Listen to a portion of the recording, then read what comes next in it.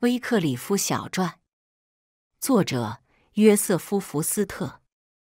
前言：在马丁·路德小传里，述及马丁·路德于一五一七年十月三十一日，在威腾堡教堂门口张贴了九十五条款，反对天主教出售赎罪券。马丁·路德的勇敢表现，掀起了一场惊天动地的宗教改革。一五二九年，在斯拜尔举行的国会会议中，拥护马丁·路德宗教改革的王子及隶属他们境内的教会，向罗马教皇所委出的代表提出抗议，抗议罗马教皇对马丁·路德主张的宗教改革颁布禁令。从此，更正教的英文译名就被称为抗议宗，中文亦有翻成更正教的。没有多久，更正教就分成两大阵营：一为马丁·路德为首的路德宗，一为加尔文为首的改革宗。因着加尔文开创了整个长老会。加尔文于是被视为更正教中实际上可以与马丁·路德并肩而立的另一伟人。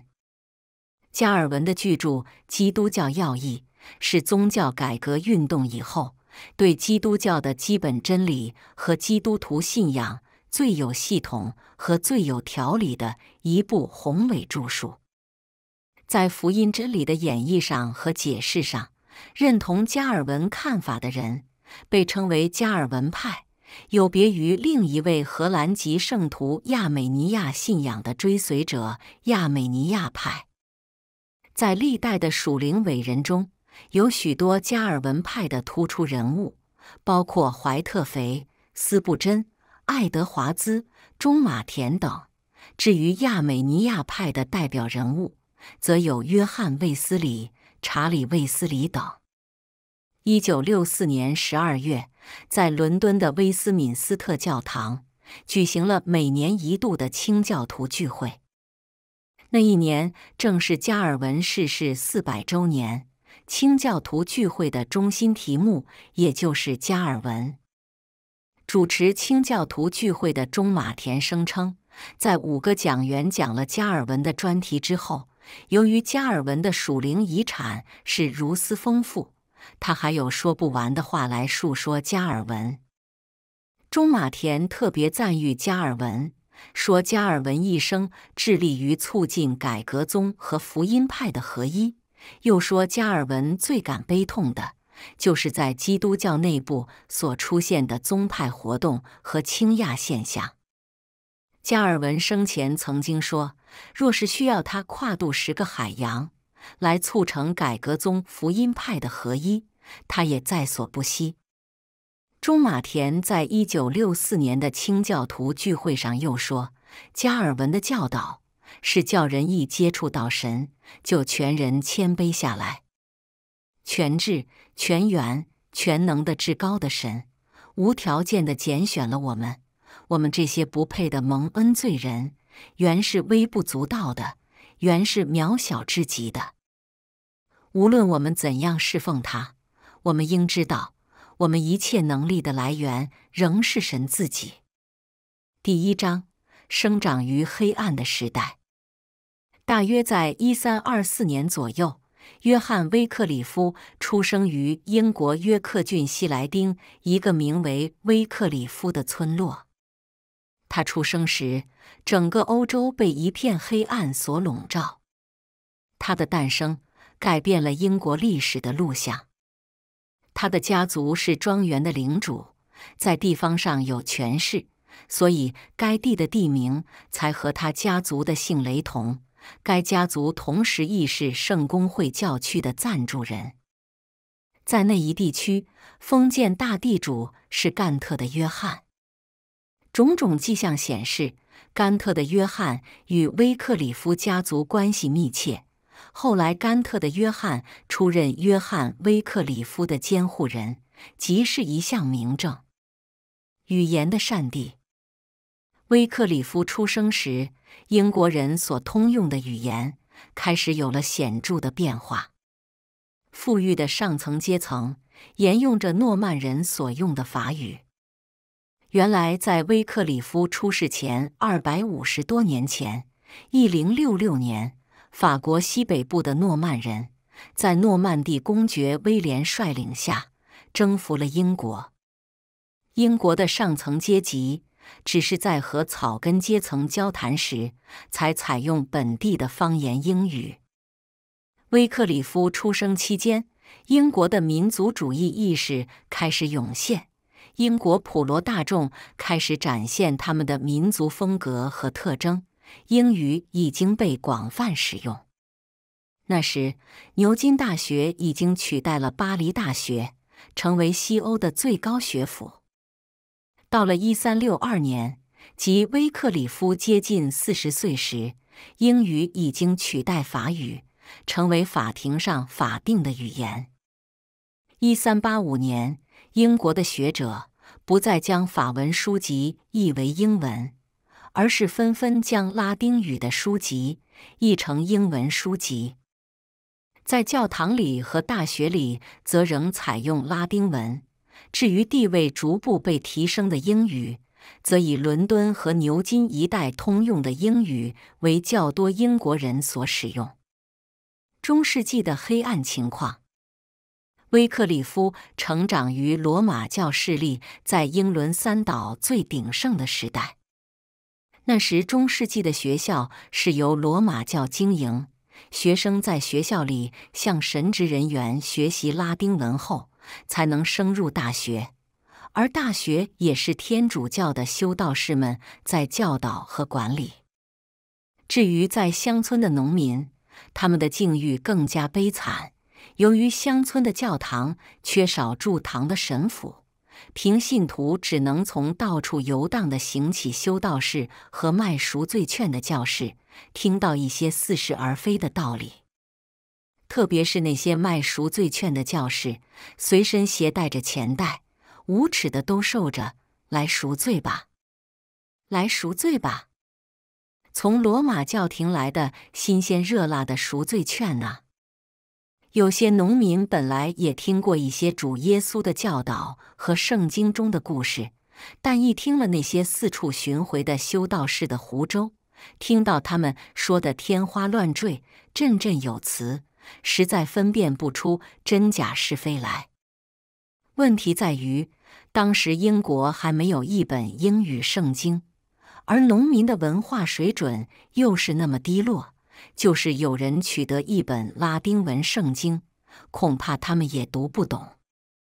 善良淳朴的农民为了安抚罪愆在良心的控告，为了逃避来世的天谴，对罗马教廷的压榨只能逆来顺受，不敢反抗，不敢怨叹一句。在这黑暗的年代中，神终于兴起了威克里夫。他痛恨罗马教廷的贪婪和腐败，他挺身而出，勇敢地揭发教廷的欺骗和迷信。那时，英国出现了到处游荡的行乞修道士，又称托钵乞食修道士。在威克里夫的年代，他们分别隶属于四个墓园的教派，包括方济会教派、道明会教派、卡尔蒙教派。和奥古斯丁教派，这些巡回英国各地的托钵行乞的修道士，口头上说自己是苦行者，事实上是贪婪到极点。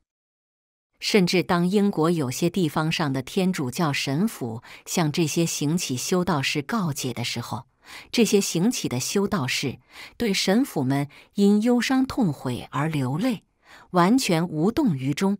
行乞的修道士所感到兴趣的，只是向神府墓园而得的银钱。本来威克里夫会非常尊敬方济会，因方济会是法兰西斯于一二零九年所创立。在初期，方济会却是和其他初期的墓园教派一样，倾心爱主，以坚定不移的信心和对主的挚爱和热诚。传扬基督的福音。然而，到了中世纪，他们失去了当初的纯洁的心，他们贪爱世界，他们堕落了，也就完全失去了见证。当年，天主教非但控制了农村，也操纵了城市的各种活动。许多政府部门的行政长官和秘书都由教廷所信任的教士们出任。这情况非只出现在英国，在欧洲的意大利、西班牙、法国都如出一辙。罗马的腐败乃是结构性的，从基层的教士到顶峰的教皇，普遍的远离了神。英国的天主教之所以有这么庞大的势力，开始于十三世纪初叶，英国国王约翰违抗了教皇的命令，教皇伊诺森三世颁发禁令，终止在英国境内一切的教堂崇拜，同时又开除英王约翰出教会，并下令要废除他的王位。一二一三年五月十五日。英王约翰在四面楚歌的情况下，被迫向教皇屈服，承认从此英王是罗马教皇的臣属，并答允每年将从税收之内提取一千马克，捐献给罗马教廷。这件事发生在威克里夫出世前一百多年，期间罗马教的腐败、傲慢、倒行逆施越发严重。毫无收敛，可说罗马教完全被撒旦在背后操纵。感谢主，在一二三五年，即威克里夫出生前九十年，神兴起了罗伯特·格鲁斯特。罗伯特·格鲁斯特当时六十岁，任林肯的主教。他初期受到道明会和方济会那些行起的修道士所迷惑。从外表看，这些修道士圣洁敬虔。后来他深入观察，发现这些托钵行乞的修道士假冒为善，是十足的伪君子。罗伯特·格鲁斯特于是说这些修道士是骗子。罗伯特·格鲁斯特细读圣经后，发现有些教皇的行为与使徒们大相径庭。他直称这些教皇是敌基督。在罗马教皇还来不及处他极刑的时候，一二五三年，主怜悯他，接他的灵魂回到天界。罗伯特·格鲁斯特虽然逝世，但是他的著作历久不衰。在他逝世之后七十年，威克里夫终于诞生，并成为罗伯特·格鲁斯特的接棒人。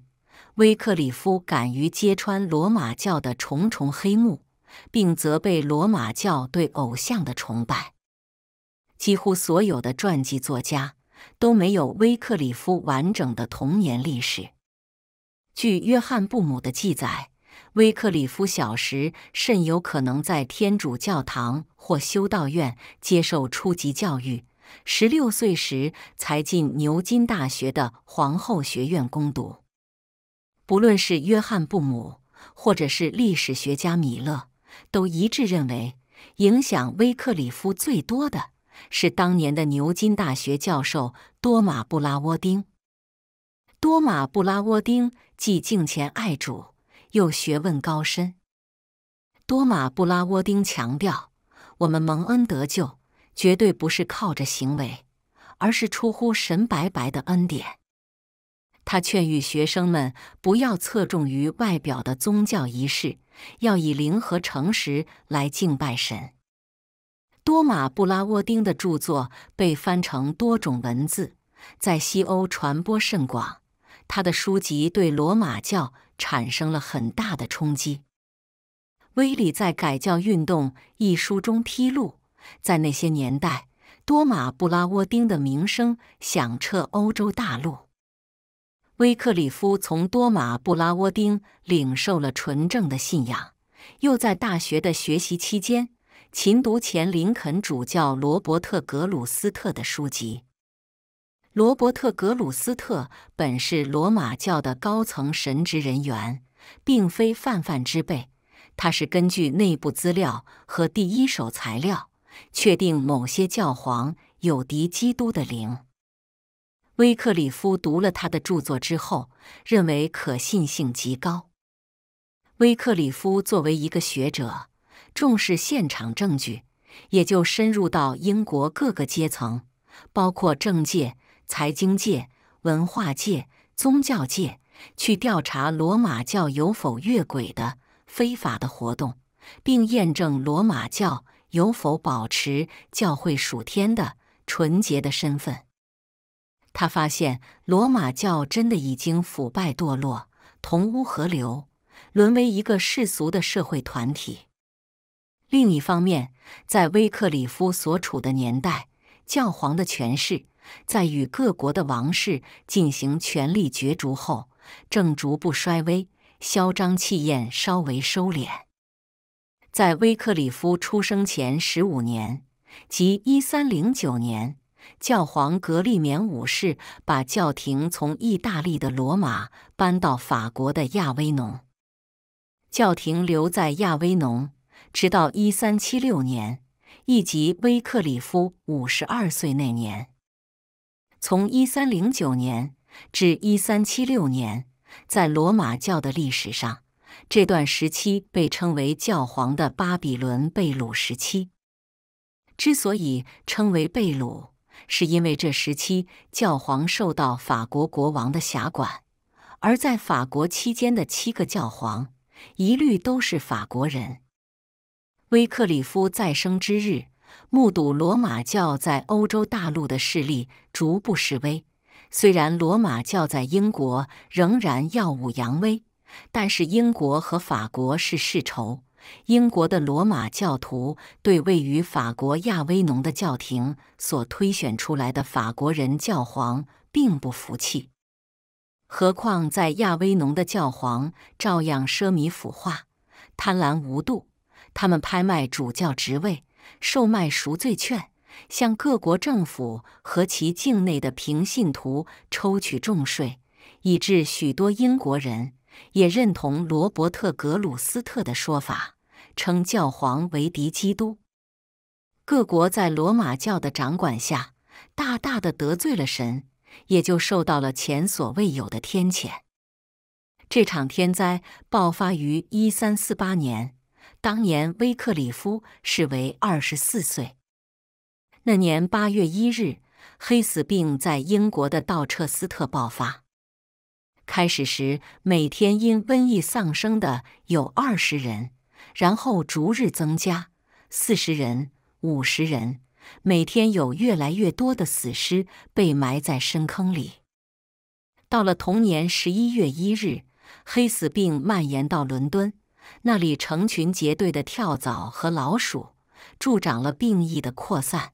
伦敦一下子倒闭了十万人，许多地区死去的人数超过了死里逃生的人。各处不够人手料理后事，发臭的尸体更助长疫病的传播。这场黑死病的灾难蹂躏了整个欧洲，尸横遍地，其死亡人数和恐怖情况。与二十世纪的两次世界大战不遑相让。威克里夫看到这场黑死病的灾祸之后，惊骇万分。他的故乡约克郡的西莱丁有三分之二的人倒闭。从前是大学教授多马布拉沃丁催促他要好好读圣经，如今是一场可怖的瘟疫，催促他要认真的读圣经。威克里夫读了圣经之后，深信这是来自神的严厉的审判。他认为罗马教以神的名义放任修道士贪婪、淫荡、欺诈，连累了全人类。从一三四九至一三五三年，在那漫长的五年间，虽然英国受到了神严厉的惩罚，幸存的人却没有认罪悔改。许多人没有接受主耶稣的救赎。威克里夫在黑死病肆虐的时候，祈求神，以神为他的避难所。他看到神的审判和惩罚是对人类的警戒，是要人按照神的话语去行，而基督就是神的话语。威克里夫的醒悟和蒙恩引起了他父母的不满。他这样叙述。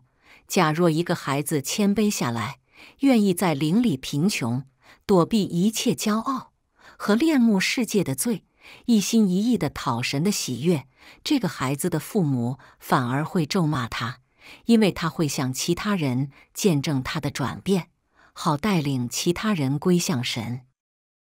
这个孩子这样做，无形中就得罪了家族里许多有身份、有体面的长辈，因为这些道貌岸然的长辈自认是宗教界的正人君子。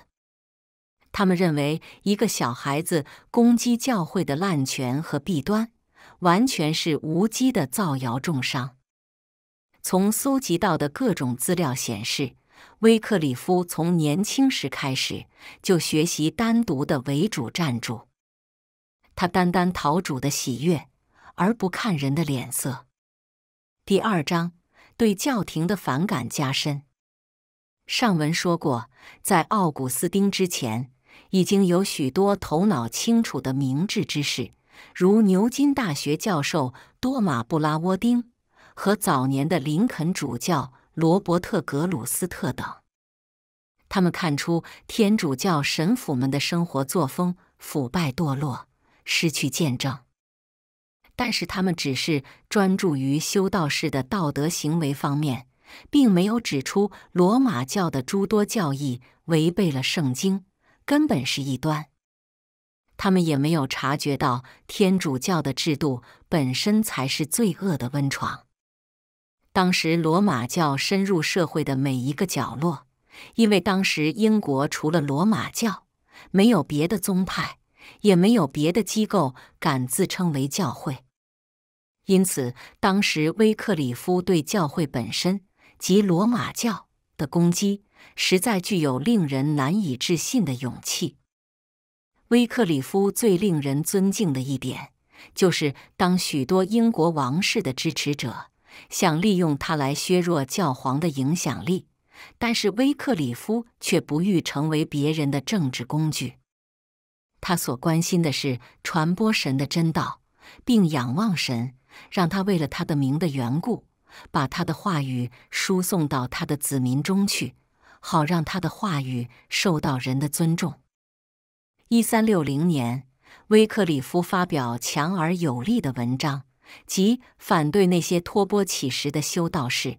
他认为这些人的贪婪表现完全影响了福音的广传。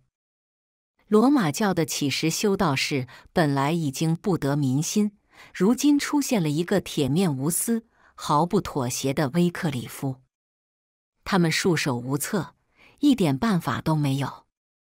一三六一年，威克里夫获牛津大学巴利奥学院颁发硕士学位，他的言论也就更加有分量。一三六五年，罗马教皇乌尔班五世企图强制英国新君爱德华三世和英国议会履行一百五十年前（一二一三年）。双方所达成的协议，即英国每年要从税收中向罗马教廷进贡一千马克。近年来，英国并不按照协议依期付款。教皇乌尔班五世不是挑选了不适当的时间向英国追债。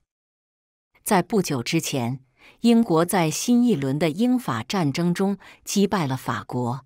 并在克雷西战役中取得了辉煌的胜利，而此时教皇乌尔班五世必印于法国，是法王的附庸和傀儡。英王爱德华三世如今完全可以依靠自己的宝剑来保护皇冠，而不必再借助罗马教皇的保护伞。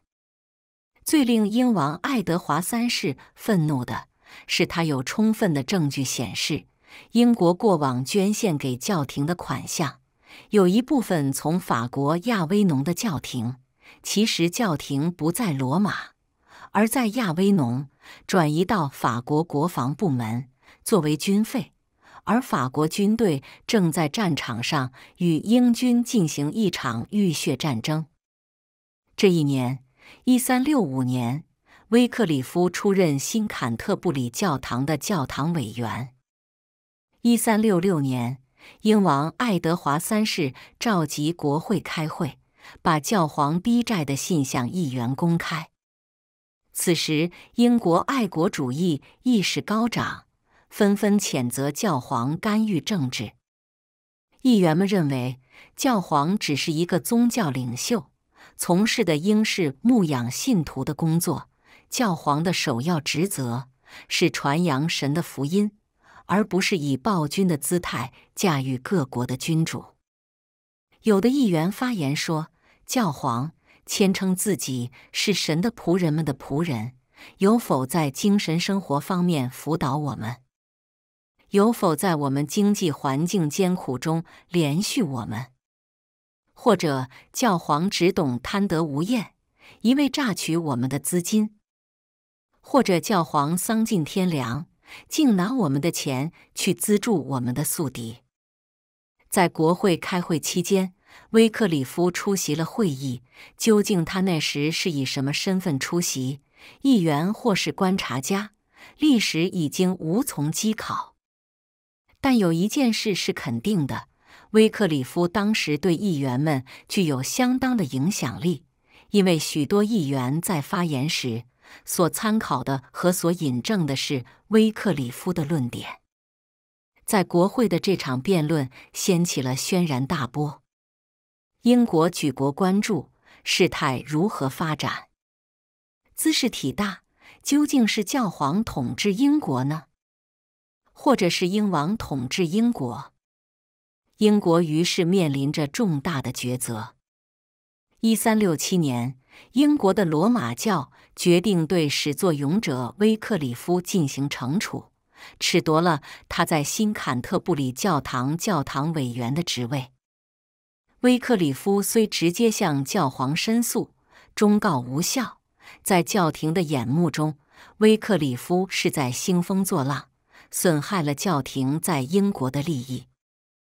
威克里夫虽然失去了在教堂服侍的职位，却赢得了英国国民的爱戴。英国人看到他是为了争取英国的合法利益和尊严，才丧失了个人的地位和尊严。罗马教对威克里夫的打击，并未使他沮丧和颓废，他反而发愤图强，报读牛津大学的神学学位。一三六九年，他获得神学学位；一三七一年，他被牛津大学评定为当代神学方面的顶尖人物；一三七二年，他又获牛津大学颁发神学博士学位。国会的辩论只是权力的角逐的开始。紧接着的是，在一三七三年，英王爱德华三世差遣代表团到法国的亚威农，去向其时的教皇贵格利十一世展开谈判。然而，该次谈判徒劳无功，毫无成果。英国政府其后进行一项调查。发现，在英国教堂占据要职的神职人员居多是意大利人和法国人。这些来自欧洲大陆的神职人员，非但不识英语，连拉丁语也所知有限。至于在英国本土出生的神职人员，只能在教堂任副职或基层职位。不公平的是，英国的税收分配仍与往常一样，必须从中抽取巨款向亚威农的教廷进贡。英王于是做出新的尝试，于一三七四年派遣更能干的谈判高手前往欧洲，与教廷展开新一轮的谈判。这一次，教皇委出多位教廷大使前往荷兰的布鲁格斯。与英国委出的代表团展开谈判，威克里夫亦被英王委为谈判代表。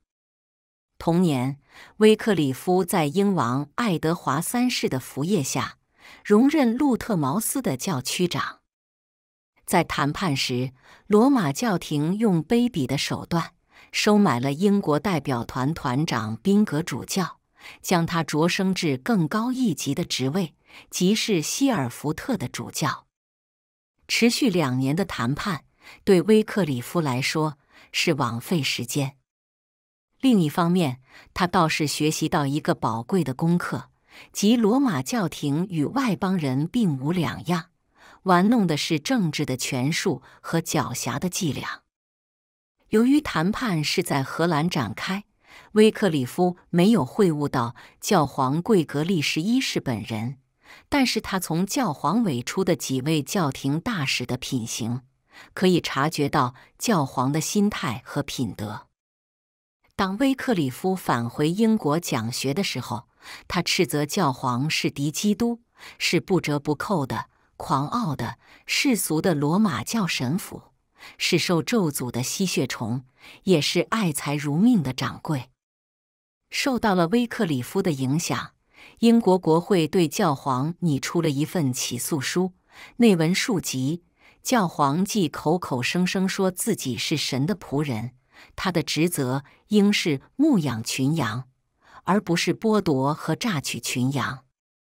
这时候，威克里夫被公众认为是英国的民族英雄。他的爱国表现也就具有深远的历史意义，他的事迹于是被记入英国的史册。可是教皇并不善罢甘休，很快的就进行反扑，而威克里夫随后也因此付出了昂贵的代价。第三章受到了敌人四面的围攻，威克里夫在英国的影响力与日俱增。他也确实比许多当代的人更认清教皇的真面目。他是牛津大学首席的神学权威，在国会甚受拥戴。同时，他也是路特茅斯教区的主任牧师。然而，必须指出，他到逝世为止，在名义上还是罗马教的神父。他虽然不承认教皇是神圣的大公组织教会的元首。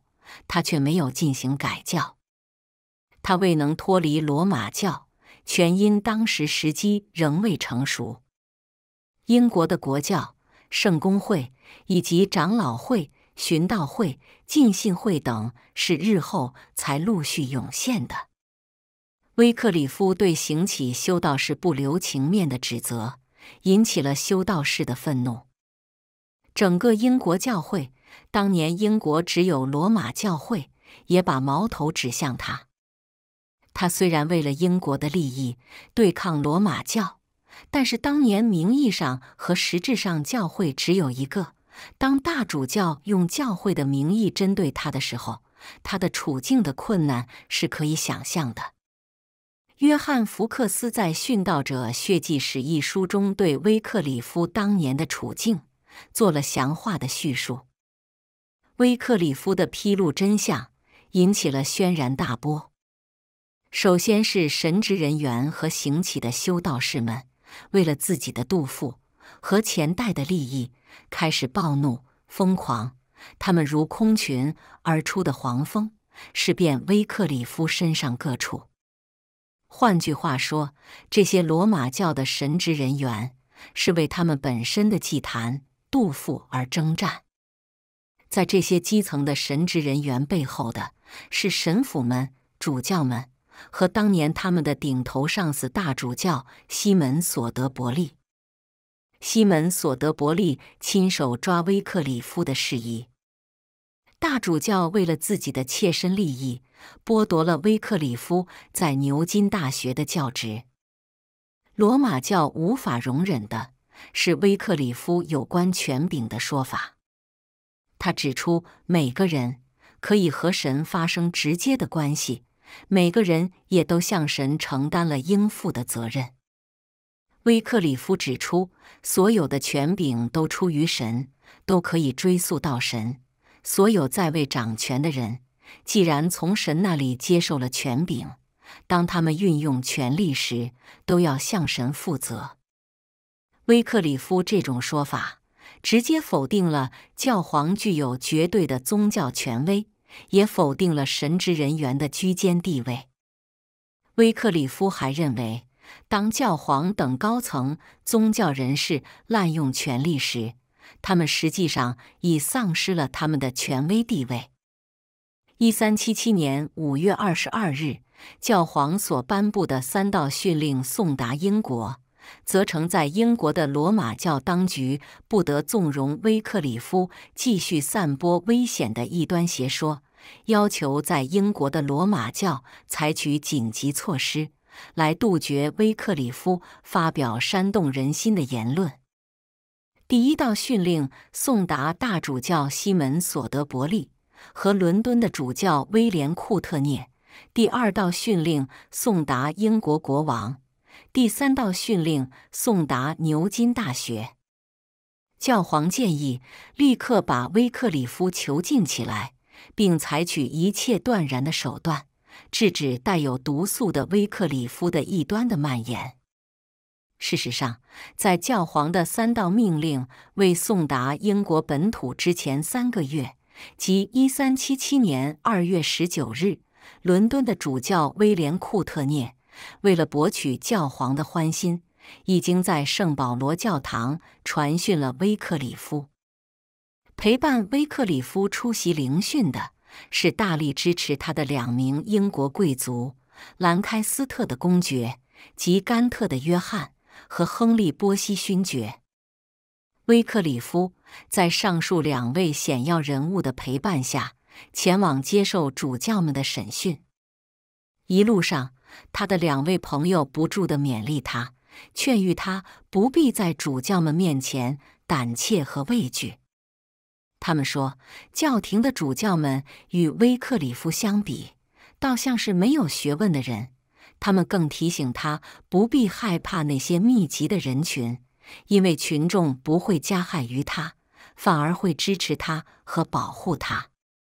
伦敦主教威廉·库特涅看到两位贵族光临时，引起了整个会场极大的骚动，就对亨利·波西勋爵说：“假若他知道亨利·波西勋爵等人在教会事宜上介入甚深，并具有相当的煽动性。”他会事先做好准备，制止两位政要进入会场。甘特的约翰立刻插入说：“尽管你不高兴，威克里夫仍不乏支持他的人。”干特的约翰对主教威廉·库特涅的言行鄙视到了极点。审讯开始时，威克里夫伊利站在大主教和主教们面前。静候主教们将罪名加在他身上。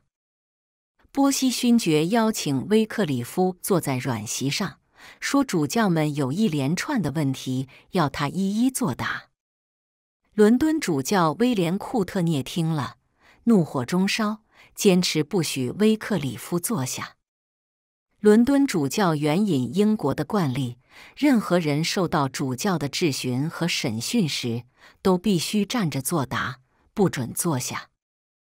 这样双方就开始唇枪舌剑，你一句我一句，会场内的群众也随着骚动起来。甘特的约翰贵为兰开斯特公爵，原来是英国帝王之后，是当时英王爱德华三世的儿子。此时爱德华三世年老体衰。实际上，摄政的就是甘特的约翰。甘特的约翰眼见伦敦主教寸步不让，坚持不让威克里夫坐下，完全不给他和波西勋爵面子，就以急躁的言语对待伦敦主教。甘特的约翰对狂傲的、出言不逊的伦敦主教说：“我不止要打掉你的骄傲。”也要打掉罗马教皇在英国所有的宗教特权和架构。甘特的约翰又说：“你可凭着你的父母夸口，但是他们并不能帮助你，他们充其量只能帮助自己，因为你的父母只不过是德文郡的男女伯爵而已。因为干特帝约翰的父亲是英国当前的皇帝，而伦敦主教的父母。”固然有贵族身份，但与皇帝的尊贵相比，差了一大截。对此，伦敦主教反驳说：“他的权力不是从父母来的，他的权力来源唯独是神。”结果，这次审讯无法进行下去，审讯就在争吵和喧嚷中被取消。几个月之后，一三七七年六月一日。英王爱德华三世驾崩，由于他那甚具声望的太子黑太子 Black Prince 比他早到了坟墓，王位就由他的十一岁大的孙子继位，是为理查二世。理查二世由于年幼，继位后头几年，摄政的是他的叔父甘特的约翰。而甘特的约翰正是威克里夫的赞助人和保护者。正如前文所述，当威克里夫被审讯时，他亲自出面为威克里夫挡灾。除此之外，母后理查二世的寡母也同情威克里夫，他毫不隐瞒他支持威克里夫对抗罗马教廷的立场。理查二世在位初期。新一任的大部分国会议员仍继续反对向教皇进贡。他们请教威克里夫，英国是否要从税收中抽取一部分捐献给教皇。国会议员又说，当国家处于战争状态时，为了自卫，为了应付国防的需要，无法把财富转移到海外。此时，教会发出不友善的批评。是否适当？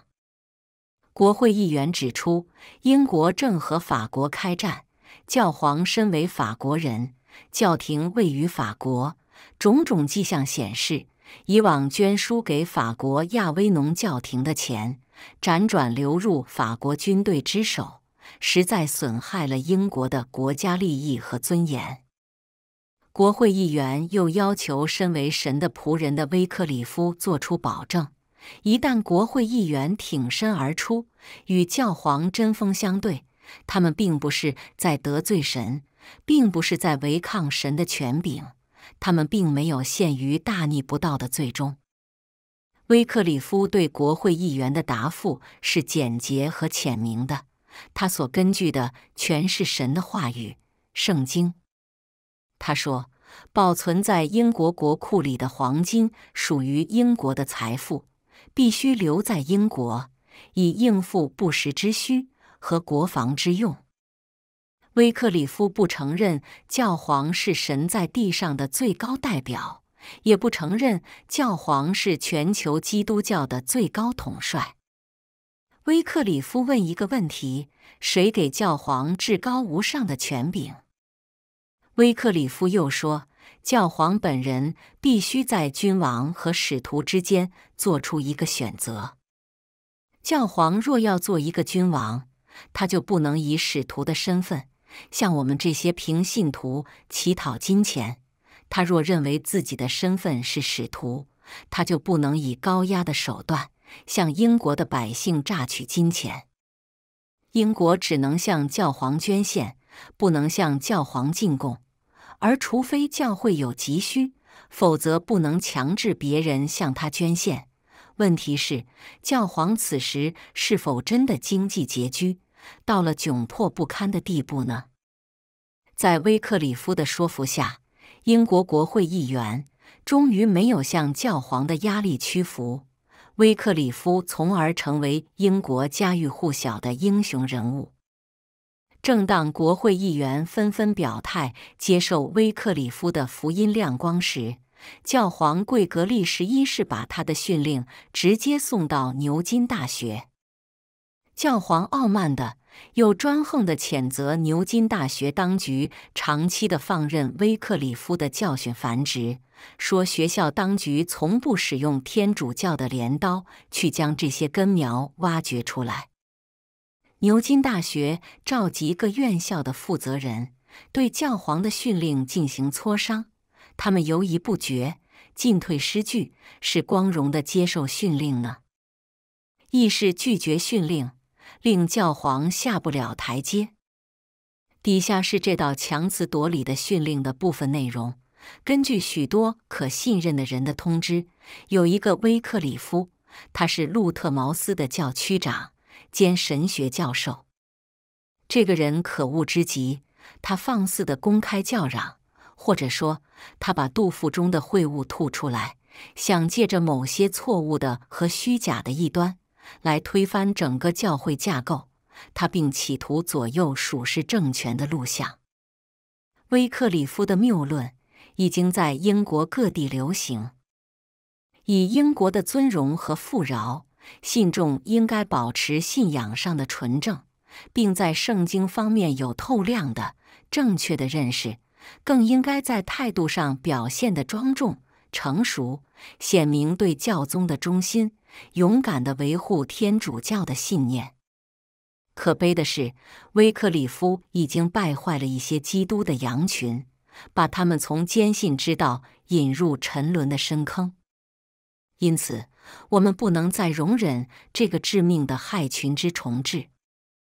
特此根据我们的权限，责令你等逮捕此人威克里夫，并把他押送到我们可尊敬的坎特布雷大主教或伦敦的主教处，严加看管。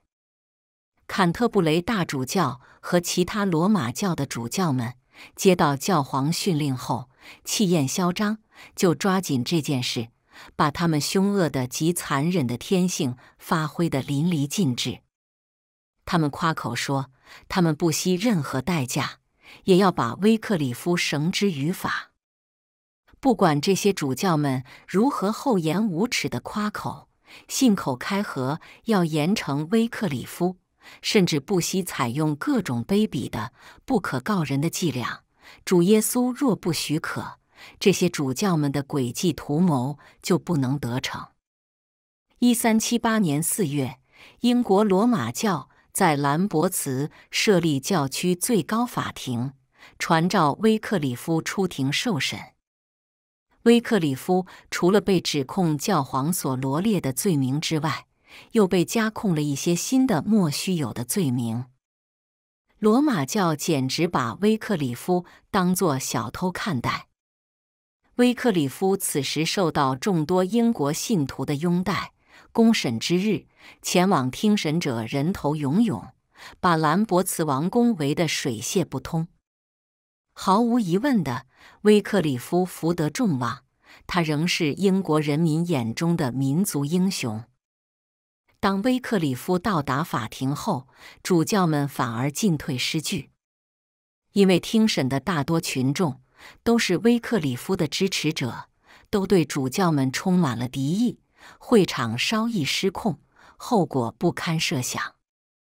正当主教们皱起眉头，考虑如何展开审讯之时，垂帘听政的母后的特使，一个平民出身的大臣。理查克利夫特爵士带来了母后的最高指令，勒令主教们不得将威克里夫判刑。主教们先前还夸下海口，说任何人都不怕，一味要将威克里夫逼到绝路。如今面对大权在握的母后的训示，都惊慌失措，害怕的说不出话来。威克里夫却表现得十分镇定。他从容地阐明自己的论点，使在场的群众信服。就这样，神奇妙的作为又一次拯救威克里夫脱离主教们的毒手。罗马教虽然千方百计的要使威克里夫敛生，想严禁他发言，但是教廷的尝试却屡屡失败，不断受到了挫折。此时发生了两件事，对威克里夫影响颇大。充分的看到神介入这件事，看到他全能的手保护了威克里夫，并使他的事工可以无阻的开展。第一件事是上文已经说过，就是体弱多病的英王爱德华三世逝世后，在朝廷摄政的干特帝约翰。是威克里夫的监护人和支持者。另一件事是，罗马教廷出现了权力斗争。原来发动一切来迫害威克里夫的法国人教皇贵格利十一世，受到欧洲大陆各国人士的抨击。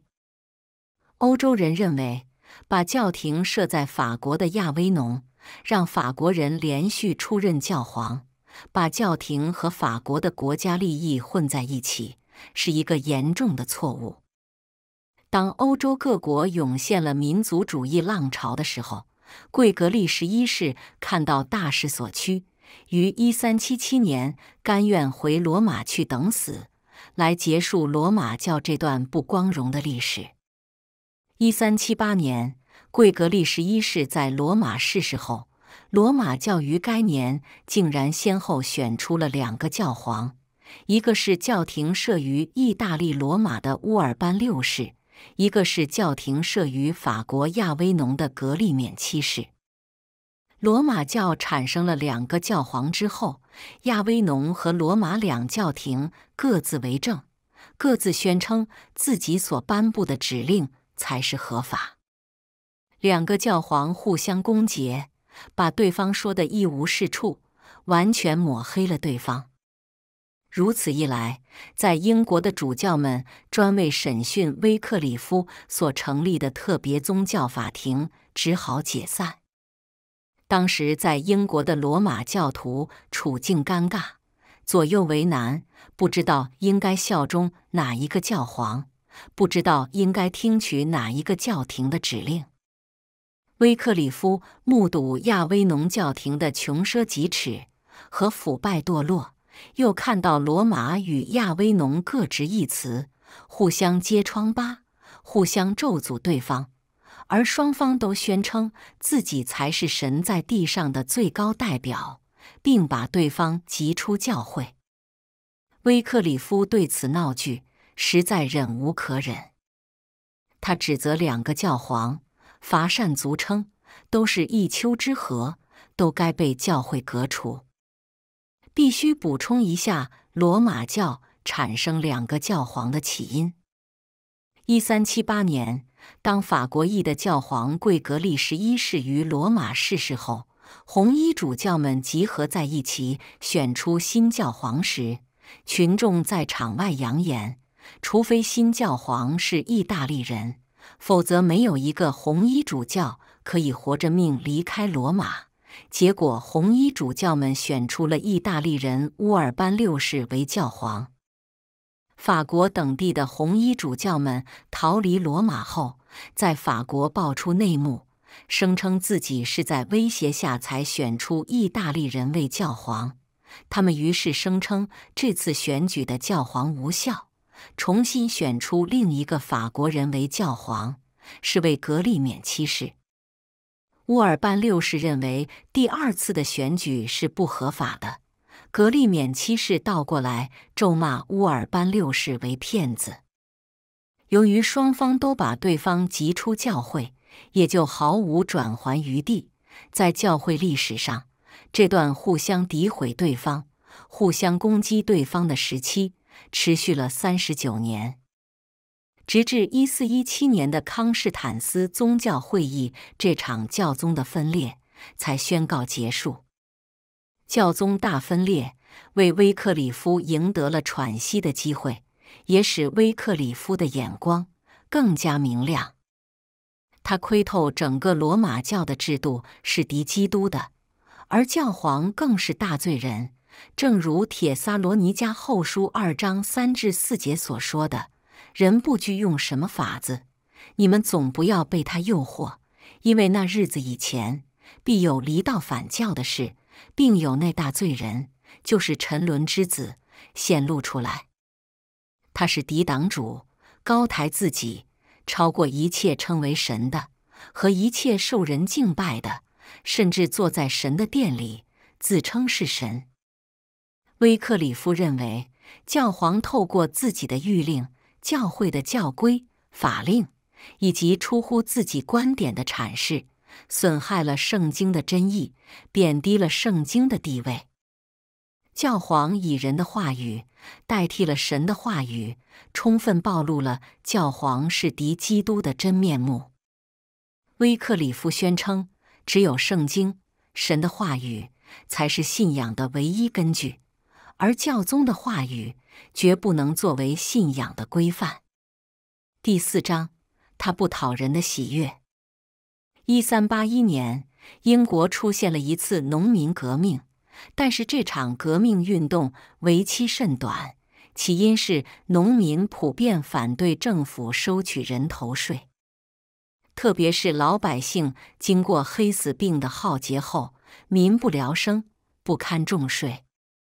一三八一年六月，农民涌到京城伦敦，杀害了一些商人，并把干特帝约翰的官邸夷为平地。农民更不满意那些养尊处优的、富裕的、世俗的罗马教领导层。罗马教在这次平民抗争中煽风点火，竟认同政府抽取人头税，毫无连续穷人之心。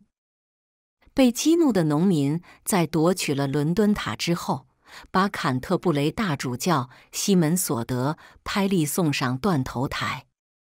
坎特布雷大主教的空缺就由原是伦敦主教的威廉库特涅补上。威廉库特涅是威克里夫的死对头，曾在审讯威克里夫一事上不遗余力。出任大主教之后。诬说威克里夫煽动这场农民骚动，指控威克里夫是农民运动的背后策划者。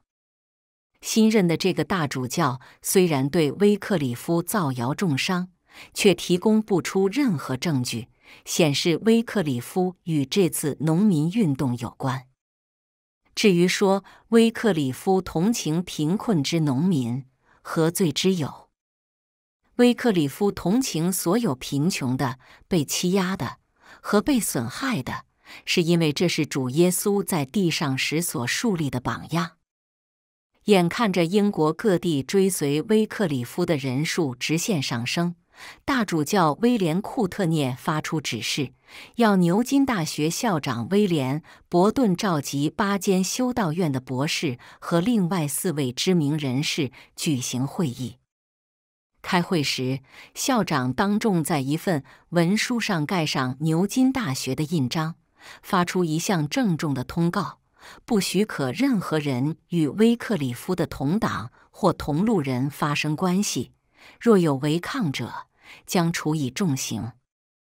至于对威克里夫本人，牛津大学威胁说要把他革除出教会，并送进监牢。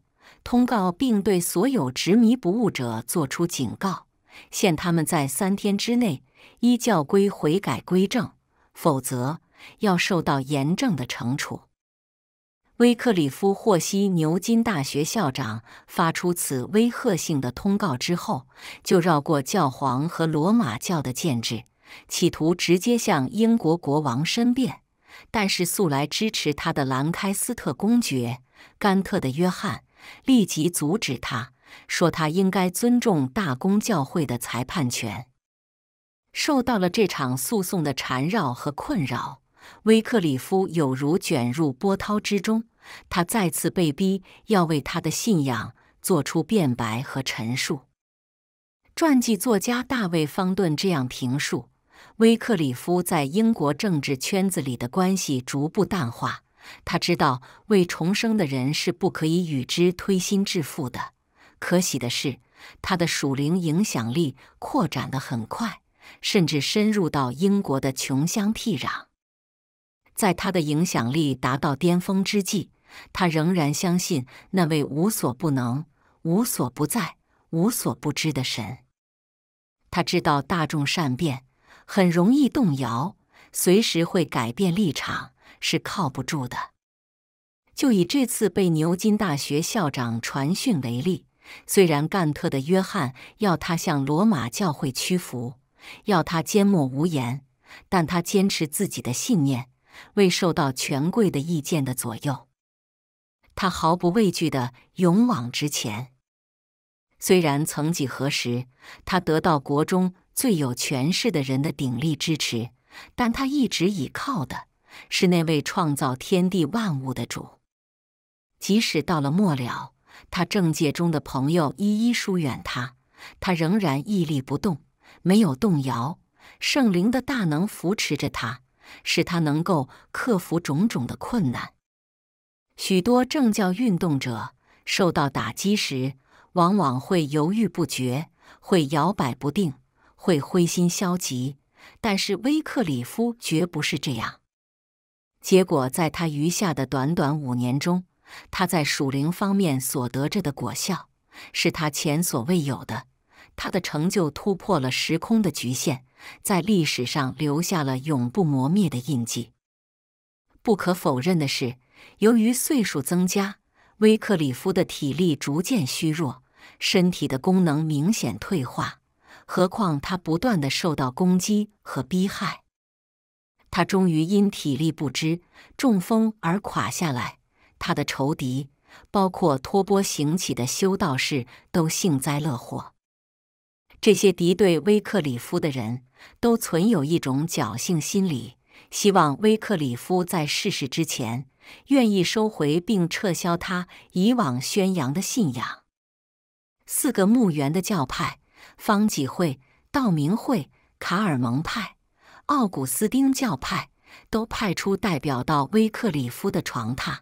他们开始时仍假惺惺的希望他早日康复，但迅即改变话题，说：“你已经到达了死亡的边缘，你要悔改你的罪行，在我们面前撤回你先前的谬论。你事实上对我们四个墓园会。”已造成了无可弥补的伤害。威克里夫虽然重病缠身，头脑却很清醒。他表现得很镇定。他先让罗马教委出的四个代表说完他们要说的，随即吩咐仆从把他从枕头上再扶高一点，然后用眼睛定住罗马教的代表们，严肃地说：“我今趟生病，不会死去。”我要活过来，宣布所有行乞教派的罪行。他随着背诵诗篇一一八篇十七节：“我必不致死，仍要存活，并要传扬耶和华的作为。”罗马教的代表们意料不到垂死的威克里夫竟会有这样的反应，都惊慌失措，不知如何应对，足之奔出房间。威克里夫这次的预言真的得着应验，他奇迹般的康复过来。下文将说到他在余下的几年如何传播圣经的教训，如何翻译英语圣经，又如何差派出大批的传道人。威克里夫最引起罗马教廷不满的是，他于一三八一年春天公开发表言论。反对罗马教圣餐的变质论。罗马教认为，在做弥撒时，在坛上的饼和酒，经过神父们的祝祷，饼和酒就变质为基督的身体和血。威克里夫无法接受这说法，他认为饼和酒是象征性的，而不是实质的。他认为神父一经注谢。饼并没有变质为基督的肉，酒也没有变质为基督的血。所谓变质论，并没有圣经的话做根据。威克里夫强调，饼代表基督的身体，酒代表基督的血。基督所注重的，乃是属灵的实际。威克里夫的说法击中了罗马教的要害，动摇了罗马教的基本教义。罗马教对威克里夫进行反击是可以意料的。牛津大学迅即召集校务会议，会后作出决定，严禁任何人在大学里攻击变质论，也严禁任何人聆听这类异端邪说。大学当局作出决定时，没有通知威克里夫，把威克里夫蒙在鼓里，直到有一天。威克里夫在课室里对学生们讲及领受圣餐的属灵含义时，突然有一个法庭文员出现，宣读判词，严禁他讲课时否定变质论，说他若违抗将会受到处罚，包括监禁、停职和被逐出教会。根据这判词，威克里夫被逐出牛津大学。对于这次罗马教突如其来的宗教迫害，威克里夫这样抱怨：“你们在制裁我之前，首先要指出我究竟犯何错误。”牛津大学管理层的回应只是重复一次法庭的判决。威克里夫不甘示弱，采取了一项明智的决定，就是他向英国皇帝和议会申诉。他体会到在这关键时刻维护本国议会的权威的重要性。令威克里夫失望的是，尽管在英国议会中支持他的人仍远远超过罗马教圈子里的人，但与四年前比较，此番在议会中支持的人数大为减少。他的监护人甘特的约翰对他近日抨击变质论大为震惊。甘特的约翰十足是一个政客，为了达到他的政治目的。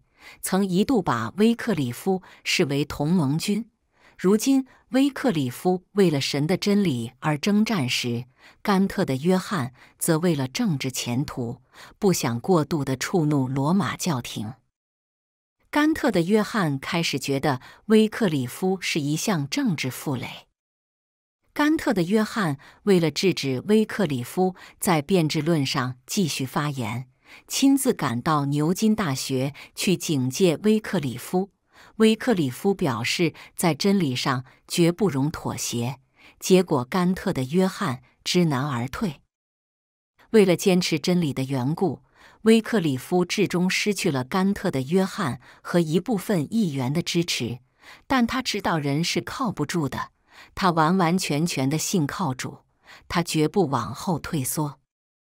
几年前，威克里夫是政界人士心目中的民族英雄，具有政治上的影响力。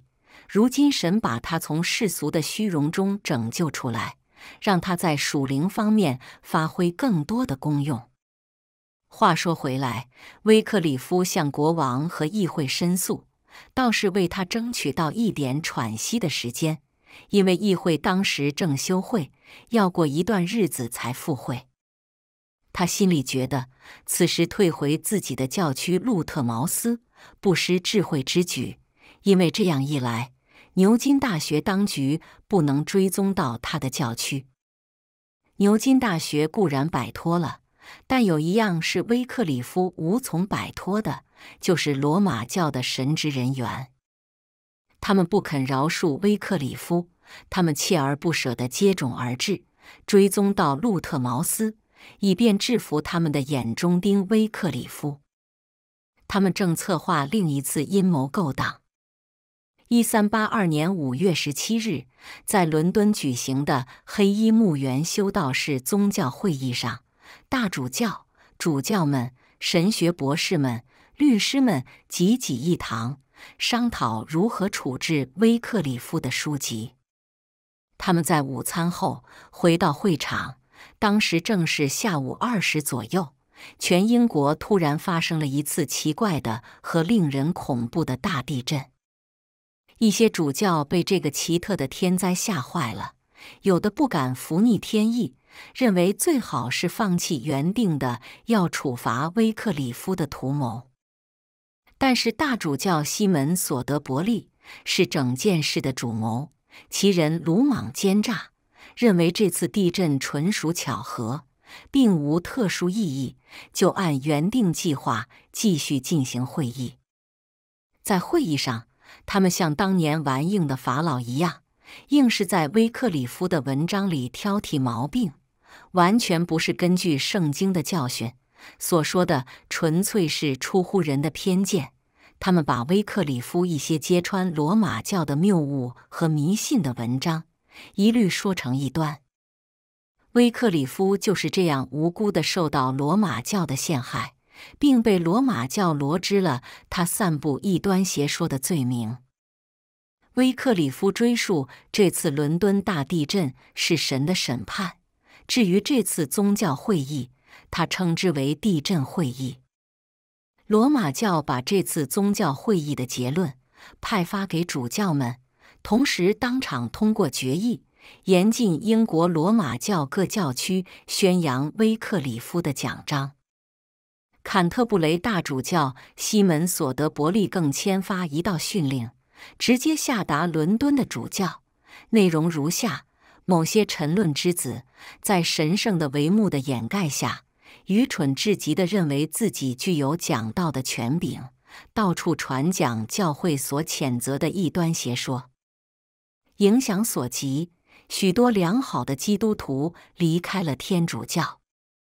因此，我们劝喻并警告：今后不许可任何人，姑不论他具有什么显赫的地位，再次袒护或传讲上述的异端和谬论；也不许可任何人在私下或者在公开场合赞同他或亲近他。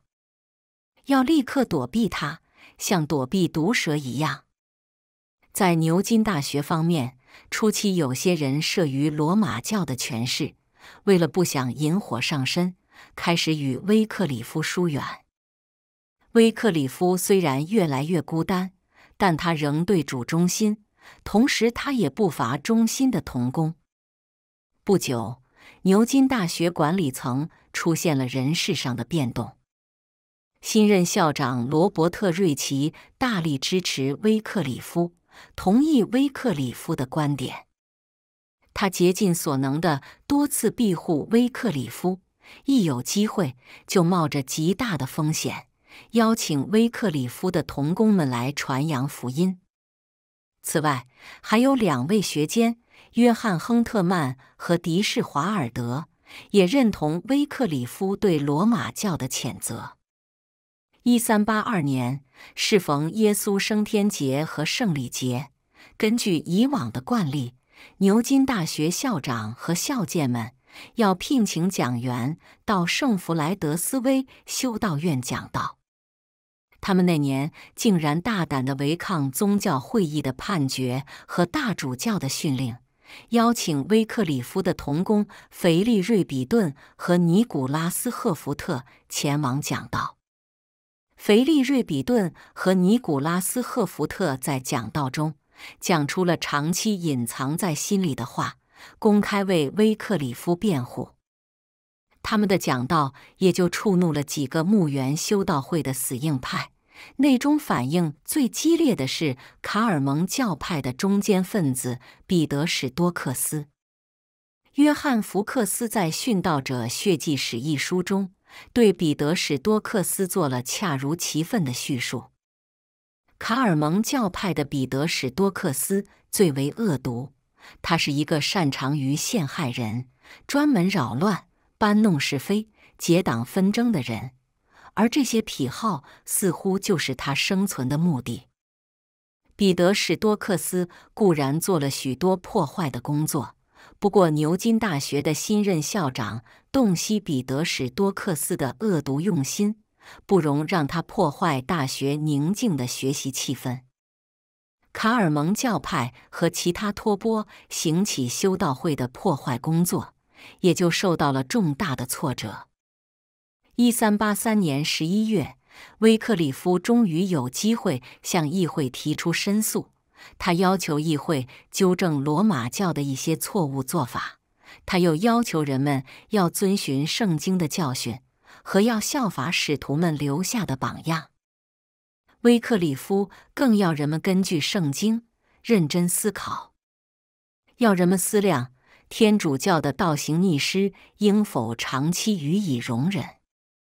威克里夫强调，如果放任天主教将一些畸形的，怪异的异化的信仰灌输给信徒，天主教将会不受抑制地为所欲为的散播更多歪曲圣经的异端邪说。威克里夫公开攻击罗马教的教训和行径，确实令不少人惊骇不已。甚多以往的朋友因胆怯怕事，一一的离开了他。但威克里夫靠主刚强站住。出乎敌对势力意料之外的是，英国议会竟然推翻先前诬害威克里夫的判决，宣判威克里夫得职。威克里夫在议会的上诉的职之后，英国罗马教新任的主教威廉·库特涅愤恨不平，决定进行反扑，就在英国牛津大学召开了修道士宗教会议。此次会议的焦点集中在变质论，他们要威克里夫再次表态，看他是否仍承认变质论是教会的基本信仰。威克里夫是一个原则性很强的人，他不会向强权屈服，在真理上他绝不会妥协。他既然在圣经上找到了真理，他就要忠实于所看到的真理。威克里夫坚定不移地站稳立场，郑重地重复先前的结论：在守圣餐时，基督的肉身、血和肉并没有出现，出现的是属灵的象征和预表。圣餐所要体现的只能是属灵的实际。威克里夫还说，那些说可以把圣餐的饼和酒变质为基督的肉和血的人，才是不折不扣的异端者。他举例说，在巴尔的神父们竟然把主持弥撒的特权拿来拍卖，拿神圣不可侵犯的圣餐来换取几个臭铜钱，这是何等的亵渎！威克里夫结束说：“你们究竟在向谁争论？是向我这濒临墓穴的老人呢？不，你们是向真理争论。真理远比你们强大，至终要征服你们。”说完，威克里夫抽身就走，留下他的仇敌们呆坐在那里，个个惊慌失措。威克里夫正像他的主人拿撒勒人耶稣一样，他从他们中间走过去。第五章，智力翻译英文圣经。威克里夫强调说，地上的罗马教皇的声音绝不是神的话语，只有圣经才是神的话语。他又加重语气，究竟教皇是否真是神所选召的，都值得人们质疑。威克里夫对圣经的重视，促使他着手翻译英文圣经。威克里夫毕生最重大的成就、最有历史价值的建树、最令历代历史学家和传记作家传颂的，就是他首先把圣经译为英文。一三八一年开始，威克里夫从公众的视野中消失，退回自己的教区路特茅斯。一方面，他极其细心的和蛮有爱心的牧养群羊，而他在教堂的讲道更使他成为历史上闻名的布道家之。另一方面，他在几位童工的帮助下，在不受到外界干预的情况下，完成了英语圣经的翻译工作。整本英语圣经在一三八二年告成。威克里夫是把耶柔米的拉丁文圣经直接翻译成英文圣经。有关耶柔米生平的部分，可参阅奥古斯丁小传。罗马教一向不允许平信徒阅读圣经。罗马教认为，唯独神职人员够资格可以阅读圣经和具备条件解释圣经。罗马教在十三世纪曾下达这样的训令，严禁任何人拥有新约圣经和旧约圣经。对于罗马教的专制和滥权，威克里夫十分蔑视，并且从来不加理会。威克里夫知道，要战胜罗马教的迷信，并赢得信众的支持，必须将圣经译成本土方言。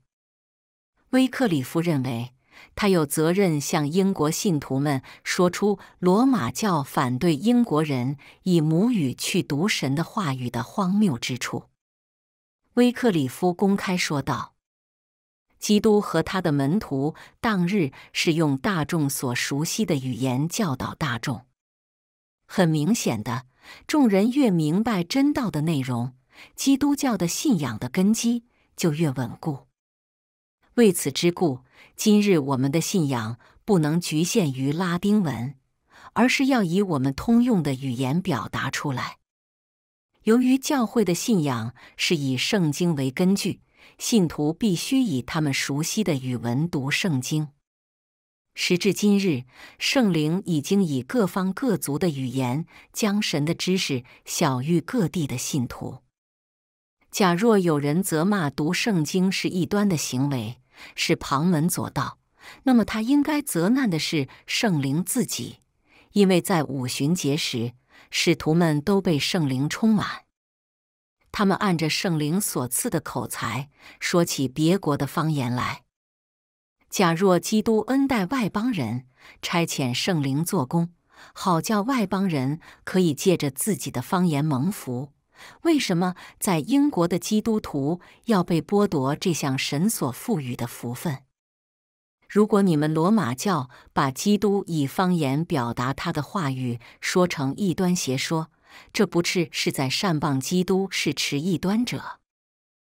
你们罗马教只懂得盲从附和，尊重人的传统、教条和教皇的谕令，多于尊重圣经的教训、神的话语。当时罗马教不允许平信徒阅读圣经。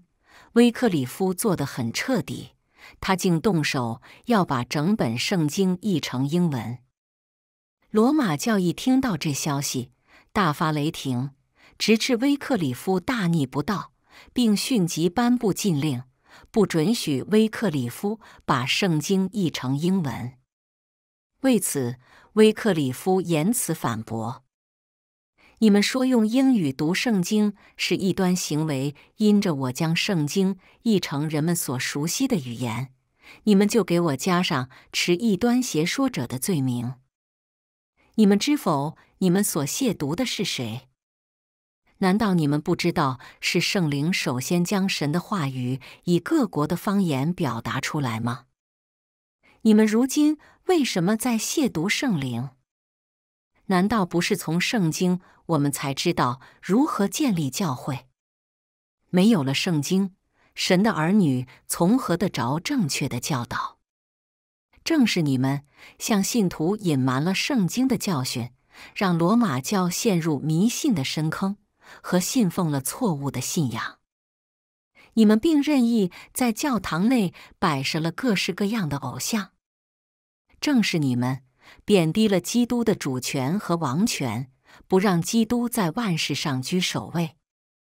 正是你们让人的妄自尊大代替了神的权柄。威克里夫主理整本英文圣经的翻译工作，他个人负责翻译整本新约圣经，而威克里夫在牛津大学的同事。以及前一章数集的尼古拉斯·赫福特博士和威克里夫的私人秘书约翰·伯斐则负责翻译旧约圣经。在英国语文发展的历史上，威克里夫将英文圣经译成，可说是开辟了一个新的纪元，宛如马丁·路德在德国语文形成的过程中所扮演的角色。英国方言文学的作家杰弗里·乔叟被公认为英语诗坛之父，而威克里夫则被尊称为英语散文之父。威克里夫一共著述了一百六十本书，内中有六十五本是以英文写成，另九十五本则以拉丁文写成。在翻译圣经时，威克里夫是以最高的标准要求自己。威克里夫在翻译圣经时格外小心，因他知道圣经是圣灵所漠视的，故此他在翻译英语圣经时，不时仰望神，祈求神赐他智慧的灵，能翻译的合乎神的心意，并能以最合适的语言表达神的意念。威克里夫和童工们把圣经翻译成英文是一项浩大的工程，但是更艰巨的工作是怎样把译好的英文圣经出版面世，让更多信徒们可以直接读到神的话语。当时印刷机还没有发明，每一本圣经都是用人手抄写的，平均一人要用九个月才抄完整本圣经。威克里夫动员了论百计的爱主信徒，他们公然违抗罗马教的禁令，亲笔抄写译好的英文圣经。经过了六百多年，直至今日，仍有一百七十本威克里夫译的英文圣经手抄本流传下来。可见当时的弟兄姐妹们，为了让其他肢体可以分享到神的话语。曾付出了极其昂贵的心血和代价。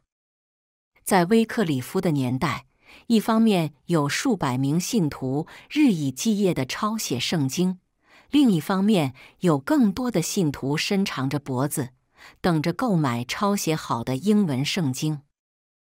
内中只有富裕的弟兄姐妹才有能力购买一本圣经，那些农民出身的信徒一般要花费一整车的农作物才能换到几张的圣经。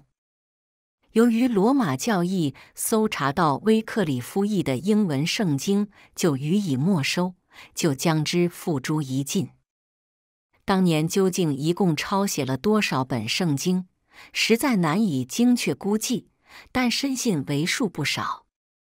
第六章，差遣门徒传扬福音。威克里夫日以继夜的操劳，加上多次的审讯，影响了他的健康。他的体型瘦小，体质虚弱，上一次一场大病后，从未完全康复过来。在心底里，威克里夫知道自己在世的日子不多，就忠心地。尽快的去完成神所托付给他的事工。威克里夫在翻译圣经的文字工作之外，另外一项事工就是打发一些贫穷的传道人到英国的村落去传讲神的话语。当威克里夫在牛津大学担任教职的时候，他已经差派与他观点相同的学生，以不受薪的传道人身份，到各地传播福音。这些人原来都是罗马教的神职人员，或者是在牛津大学进修的神父。他们其实和威克里夫一样，具有罗马教神父的职称和身份，却因着追随圣经的教训，才不赞同罗马教一些违背圣经的做法。这些威克里夫的追随者又被称为穷祭司。威克里夫认为，在新约。每一个人都是祭司，连平信徒也是祭司。在侍奉神的事上，他认为不应有居间阶级存在。这些威克里夫的门徒开始时被称为穷祭司，亦有被称为穷传道人的，其后被定名为罗拉德派。罗拉德这名字从德国字罗伦演变出来，罗伦。在德文的原意就是低声吟唱。值得注意的是，在那个年代，这些罗拉德派已经虔诚的在歌唱赞美，他们是从内心的深处向至高的神赞美敬拜。他们不得不采集在洞穴中和丛林里低声吟唱诗歌，为的是不使声浪过大，以免暴露他们的行藏。以免招来罗马教的搜索和迫害。在罗拉德派的敬拜聚会中，讲道是主要的内容。可是，他们精心安排的献诗方式一直绵延至今日。在这一点上，罗拉德派确实改革了罗马教墨守成规、陈腐僵化的宗教仪式。罗拉德派在崇拜聚会上献出了新油。罗拉德派的传道人极易辨认出来，他们赤裸着脚，手执杖杆，身上披着褐色的粗布长衫，衫上缝着大口袋，以便随身携带威克里夫译成的英文圣经。罗马教把罗拉德派说成是颠覆分子，他们甚至说罗拉德派是一三八一年农民革命运动的煽动者。尽管罗马教采取种种手法抹黑罗拉德派，罗马教中比较公允的人士也不得不赞扬罗拉德派。底下是一些评语：这些罗拉德派，正如他们的领袖威克里夫，非常有口才。他们讲道时大有能力，少有人像他们那样有说服力。一些最近追随他们。被他们说服而转变过来的人，在言行上与他们完全一致，如同出自同一模型。这些人严于律己，轻视世上的财宝，从不涉足于情侣公寓，也不吐露一句粗言秽语。他们不住的潜心祷告，以传讲福音为他们的天职。威克里夫以他的教区路特茅斯为培训中心，把他的门徒予以严谨的训练，然后差派他们到英国各地去。罗拉德派在任何地方都讲到。一旦教堂的门不向他们打开，他们就在空地上，或乡村的草地上，或一般人认为是肮脏的地方，放胆的传扬福音。威克里夫对此有所解释。他说：“主耶稣在地上时，无论何处，只要时间允许，只要人有需要，只要方便，他就传讲神的话。”托钵行起的修道士最仇视，也最畏惧罗拉德派。曾有一个修道士承认说，当他在行路时，几乎每两个迎面而来的行人中，其中一人就是罗拉德派。从此可见，在罗拉德派极盛的时期，他们在英国的影响力是何等浩大。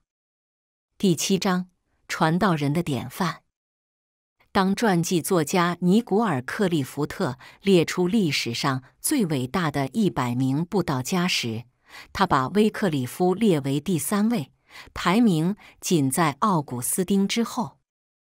威克里夫非但差派许多传道人出去传福音，即是所谓的罗拉德派，威克里夫本人也是一个布道家，他被那时代的人公认为最杰出的。和最伟大的布道家威克里夫在伦敦讲道也好，在牛津大学讲道也好，都产生了极好的效应。事实上，正是他在伦敦的讲道，牵动了罗马教的主教们的触觉神经，招来了主教们开始对他进行迫害。他在牛津大学讲课，被罗马教诬陷他在宣扬异端邪说。然而，那些被他说服的学生们，就是第一批担任拆船工作的罗拉德派。威克里夫本人在君王和议员们面前慷慨陈词，那些奖章被转述到公众的耳中时，他顿时成为千万信徒所敬仰的对象。不错，威克里夫口才流利，说话充满能力，但他所传讲的全都根据圣经。这与当年一般传道人的讲道风格迥然不同。在当年，许多传道人为了迎合听众的低级趣味，要讲一些迎合听众心理的花言巧语。那些讲道者从来不以严肃的态度向听众讲解圣经。许多听到的人从这处流荡到那处，纯粹为了去聆听更好听的道。听众已经把听到当做一种宗教的娱乐。最可悲的是那些行乞的修道士，他们更像江湖上的术士，而不像是虔诚的传道人。他们讲到的内容大半是圣人的传奇故事，以及一些过度渲染的悲情小说，或虚构的无稽之谈，或鄙俗的笑话，或蓄意威吓人的解梦等。当听众们受到他们蛊惑后，修道士就托钵求乞，并当场出卖赎罪券。这些修道士所注重的是盆满钵满，而不是带领人的灵魂脱离地狱。威克里夫认为，罗马教堂那些五花八门、色彩缤纷的讲道方式不可效法。他认为，传道人必须直截了当地。开门见山的传讲神的福音。他强调说，传道人讲到的内容必须合乎圣经，信息必须单纯，不能似是而非。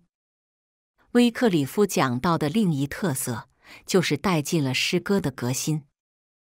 他鼓励把圣经中的金句以诗歌的题材表达出来。威克里夫认为，那些把教堂崇拜视为宗教娱乐的人，是在浪费时间和金钱。他认为，许多罗马教的宗教节目极其轻浮幼稚，只鼓动人去狂欢跳舞，而不是叫人为罪忧伤痛悔。威克里夫一直要求传道人以简单的、朴素的、易明的话语解说属天的奥秘。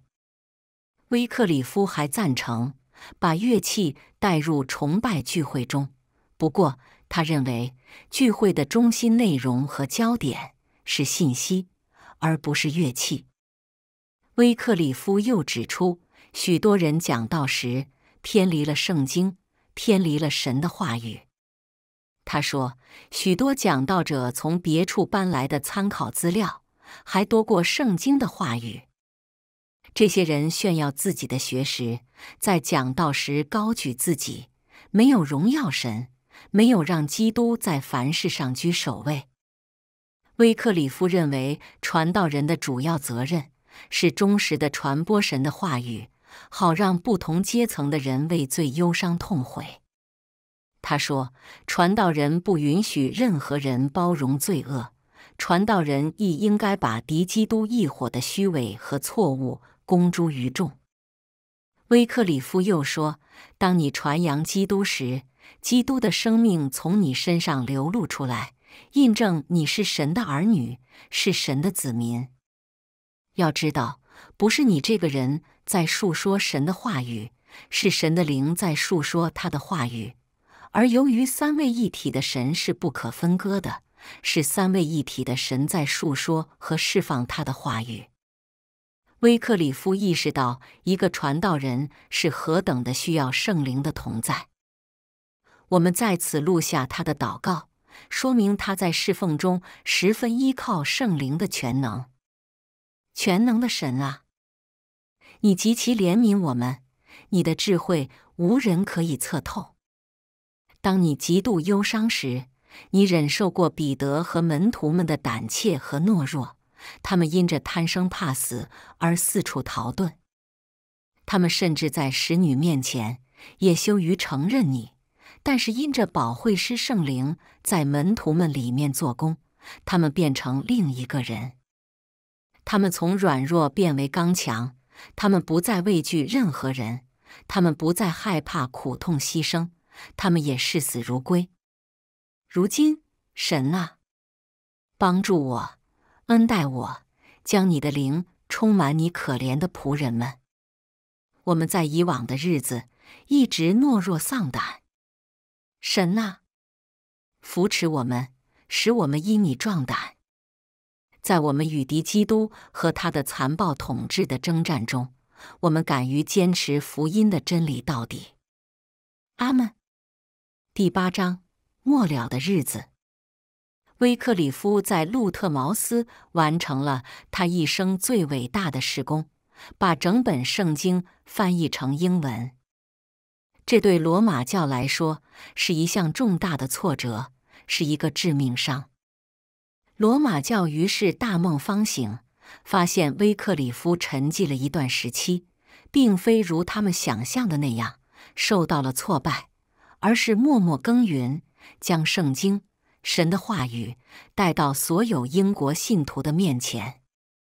罗马教从此再不能按罗马教的私意解释圣经，再不能垄断信徒们对神的知情权，再不能凭教廷的意念歪曲圣经，再不能私立名目来敛财，也再不能轻易灌输凭信徒一些异教思想。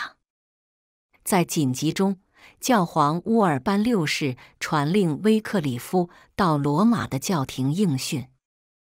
假若威克里夫真的前往罗马应训的话，看来他会终身被扣押在罗马。看来这是一条不归路。看来他再也回不了英国。在这关键时刻，神拦阻这件事，神不容许他动身到罗马去。他突然中风。也就不易远行。威克里夫于是写信给教皇，说神阻止整件事。他以讽刺的辛辣的语调，于一三八四年底致信罗马教宗，劝谕教宗反省。自录下信件部分内容，我很高兴向任何人，特别是罗马教宗，阐述我所坚持的信仰。假若我的信仰是正确的，教宗理应衷心予以肯定；假若我的信仰是错误的，教宗势必予以纠正。我认为基督的福音是基督自己所赐予的。罗马教宗既声称自己是基督在地上最高的牧者，毫无疑问的，他更要恪守福音的准则。对基督徒的评价，并不是根据世俗的利禄标准，而是根据他们在灵命生活上如何效法基督。当主耶稣在地上过客旅生活时，他自甘贫穷，从不贪恋凡事的权力地位。从马太福音第八章和哥林多后书第八章，我们可以读到这一点。从此，我得出一个结论。除非教廷人士以身作则，效法基督，否则任何人都不可效法教宗或他所册封的圣人。由于彼得、保罗和西庇太的两个儿子雅各和约翰一度贪图属世的体面，未能完全效法基督，我们当然不能效法他们失败的地方。为此，我建议教宗。做好牧养群羊的工作，放弃卷入尘世的权力角逐，听取主耶稣对门徒的劝诫和教导。若我上面所陈述的是错误的，我愿意虚心受教，即使我被处极刑，亦在所不惜。当然，若是情况许可，我愿意谦虚地拜访教宗，向教宗虚心讨教。但是神阻止了我。以致我未能成行，而他一直教导我，在凡事上要听从神，过于听从人。既然教宗从神那里领受了传扬福音和传播纯正信仰的神圣使命，我深愿教宗和大主教们不要受到任何人的误导，干犯了基督所定下的法则。因此，让我们祈求神，万有的创造者。求他感动乌尔班六世，从他身上做起，使他和他的其他教士都效法基督，好让他们能有效的教导其他信徒，并在这一点上也效法平信徒的榜样，一致效法基督。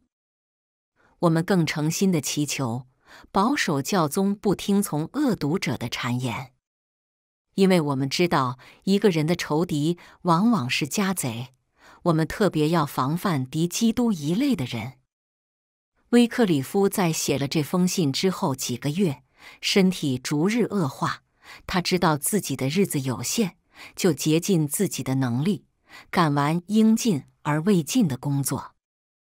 在一三八四年的最后一个主日，他未能派发圣餐，突然瘫痪倒地。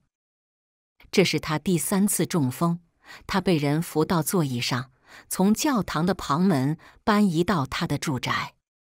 两天后，一三八四年十二月三十一日，他吸了劳苦，归回天界。第九章：不可估量的影响力。威克里夫归回天界之后，他留下的属灵影响力实在无法估量。首先说他翻译圣经的成就。他是第一个把圣经译成英文的人。每当有人叙述英文圣经的历史时，首先要述及的就是威克里夫。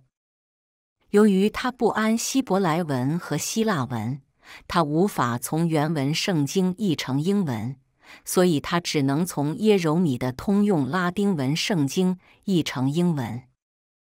威克里夫逝世后，他的秘书约翰·伯斐修订威克里夫版本的圣经，整个修订工作于1388年完成，是为白斐版本的圣经。1388年，约翰·伯斐亦被罗马教监禁起来。1401年，英国议会在罗马教的怂恿下，通过法律要火焚所有的异教者。第一个被活活烧死的罗拉德派是威廉·苏特利，他原是诺福克教区的牧师。约翰·伯斐这时候信心软弱，像彼得一样，竟向罗马教认错自新。后来他内疚，良心责备他，他再出来为主作见证，并于一四二一年再度被捕。其后再听不到他的消息。但在英文圣经的翻译历史上，约翰伯斐的版本一直占据一个重要的地位。一四一三年，当时罗马教的坎特布雷大主教是多马阿伦德，他于伦敦的圣保罗教堂召开了一次全英国的宗教会议。会议的目的是要遏制福音的广传，并要迫害一位坚持主道的科布汉勋爵约翰。奥特卡斯特，科布汉勋爵是罗拉德派的负责弟兄，他坚定不移地支持威克里夫的纯正信仰。科布汉勋爵的城堡成了罗拉德派的避难所，他们毫不畏惧罗马教颁布的禁令，照常聚会。英王亨利五世派兵攻破城堡，逮捕了科布汉勋爵，把他囚禁在伦敦塔。在提审科布汉勋爵时，他作见证说：“谈到这位对主忠贞的威克里夫，我所能在神和人面前见证的是，在我没有得着他话语的帮助之前，我不能脱离罪的捆绑。但自从我听了他的教导之后，我认识到要敬畏神，要尊重神的话，过于尊重人的话。从此，我因着信。”却知他与我同在，并知他且有丰盛的恩典，是我从你们罗马教所夸耀的教训里所无法得到的。罗马教的主教们驳不倒科布汉勋爵之后，只好暂时将他释放。事后，罗马教对科布汉竟能逃过法网，心有不甘，恼羞成怒之后，就制造莫须有的罪名。向英王亨利五世进言说，威克里夫和科布汉勋爵等一类的叛乱分子，到处秘密集会，进行阴谋活动，危害了英国皇室的安全。亨利五世被罗马教挑拨之后，在列斯特召集议员开会。这次议会决定，任何人用英语读圣经及接受威克里夫的教导。将没收其土地、家畜、身体、生命和财产。这项惩罚并将永远的或延及其后代。这些读英文圣经的人要被定罪为背逆神的异端者、皇室的仇敌和国家最危险的叛徒。此外，法令又规定，英国境内所有的教堂都不可以接纳这些叛徒。这些叛徒若不放弃自己错误的观点，或者在被教导之后明知故犯，他们就要按照两种方式处死：首先，因为他背叛皇上，被处绞刑；然后，因着他背叛神，再将他的身体用火烧毁。列斯特法令颁布之后，许多威克里夫的追随者被抓起来，被人用人世间最残酷的方法处死。许多人逃亡到法国、波西米亚、西班牙、葡萄牙等地。科布汉勋爵也被重新关入伦敦塔，并被判死刑，等待行刑。在科布汉勋爵行刑之前，有一晚，他突然成功逃到威尔斯，接着在那里谪居了四年。其后，他被人出卖，被绑送到伦敦。卒之于一四一七年十二月被绞死，死后其身体又被烧毁。第十章：威克里夫对波西米亚的影响。在新生道夫小传中，编者已经简述了威克里夫对波西米亚的影响。这里编者又不厌其烦，再做简单的补充。在多年前，住在罗马的教皇乌尔班六世因着获得波西米亚各地罗马教徒的支持，就希望也争取到英国的罗马教徒的支持，来携手对抗坐镇于法国亚威农的教皇格利勉七世。乌尔班六世为此就促成了年仅十六岁的波西米亚的安妮公主和英王理查二世于一三八二年结婚。安妮皇后是一位敬虔爱主的姐妹，她特别喜欢阅读威克里夫英译本圣经中的四福音。安妮皇后的父亲即是神圣罗马帝国的皇帝查理十四世。而他的哥哥则是当时波西米亚的皇帝。安妮皇后下嫁英王理查二世时，理查二世才十五岁，比他小一岁。在安妮的影响下，在他们结婚后的十二年间，许多波西米亚的学生到牛津大学留学，有的也就成为威克里夫的学生。这些学生学成后，把威克里夫的著作。讲稿和英译本圣经带回波西米亚，在牛津大学的学生中最忠心信服威克里夫的是一个来自布拉格的耶柔米。这个学生耶柔米回到波西米亚的布拉格后，就火热地传讲他在牛津大学从威克里夫所领受的真理。他在布拉格指责罗马教已经堕落。已经背离基督的教训，耶柔米并指出，任何人只能从神那里得着救恩。许多人听了深受感动，内中有布拉格的神学博士约翰胡斯。约翰胡斯很快地将威克里夫的著作翻译成波西米亚文。一四一五年七月六日，罗马教在巴伐利亚举行的康士坦斯会议上。把约翰胡斯判处火刑。判决书中所罗列的约翰胡斯的罪名如下：约翰胡斯是威克里夫的门徒，他曾经传讲、教导，并确认威克里夫的文章。约翰胡斯确实是一个议论者。在约翰胡斯被当众焚死时，罗马教对逝世多年的威克里夫余恨未消。下令用火烧毁威克里夫所有的书籍。除此之外，又下令要从威克里夫的墓穴掘出他的遗骸。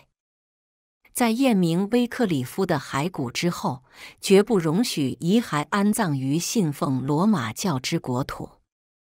在过了十二年，一四二七年十二月九日，在罗马教皇的谕令下，威克里夫的遗骸被掘出来。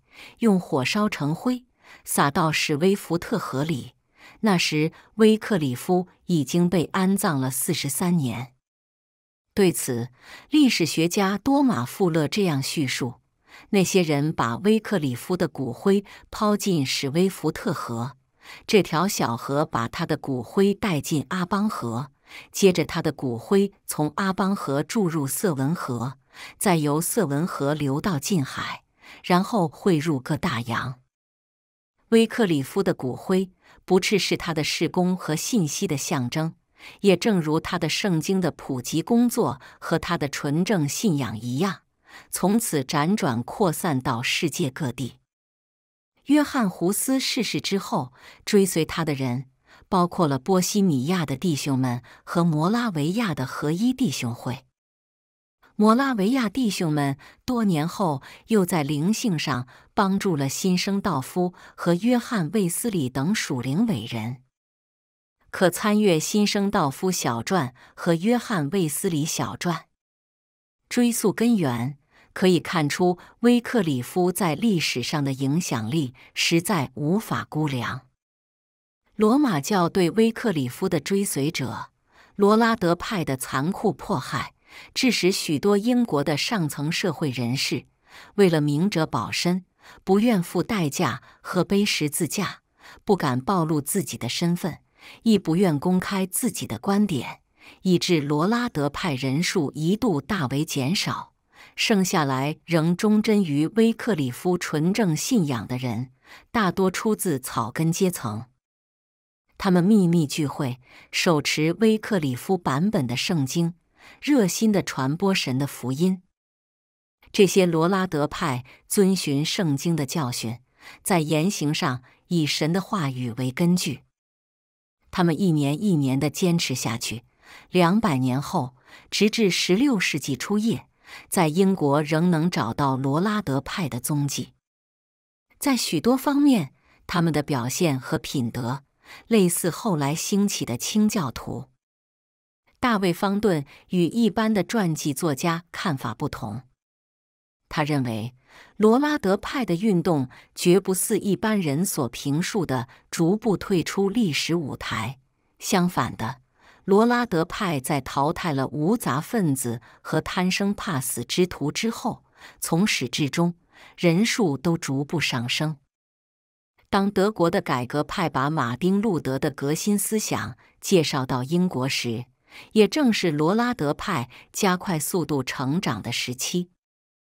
自从约翰·福克斯于1563年出版了《殉道者血迹史》之后，这本世界闻名的属灵经典著作，把威克里夫和罗拉德派的血迹史公诸于世，让其辉煌事迹辗转相传，历代不衰，长达四百四十年。